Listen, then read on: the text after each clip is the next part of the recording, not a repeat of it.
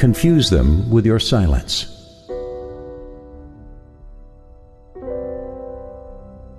It seems most times the problem we have with ourselves as humans is the problem of saying what is not yet ready to be put forth.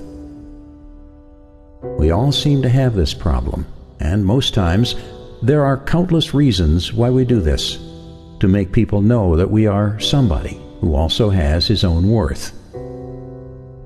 We try to make ourselves look big, try to talk others down and sometimes gain some respect aggressively, some godlike reverence to ourselves.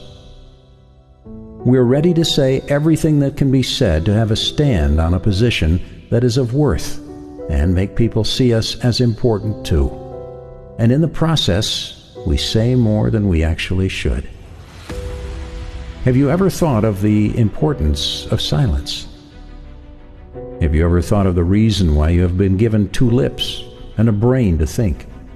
The main reason is for you to know by reasoning the right time to talk and the right time not to. To be able to envisage when our words are needed to be heard and when we are to be silent, even when the situation and circumstances around us seemingly want us to speak out. Yes, life can be a bit complicated and demanding. It can throw you off balance and give you no reason to be logical. However, since you have no control over many situations, you do have control over your own life. Look at yourself more than you look and meditate on others. Saying too much is providing an arsenal for you to get hurt with your words. Being mysterious, on the other hand, makes people go the extra mile to be your friend. You don't want to give them any ammunition to attack. Be still in your conversations and thoughts and keep the people around you guessing. Keep them wondering and looking over their shoulder for you. They will yell at you. You do nothing. You say nothing. They will come calling on you when you do not want.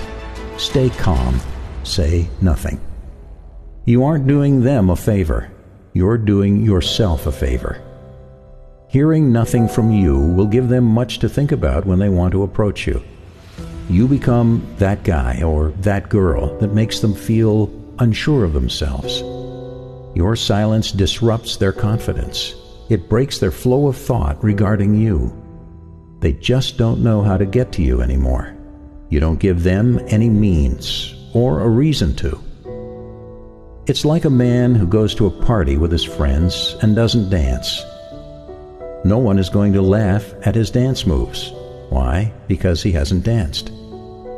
They will keep coming up with ways to define you just because you never provided them any.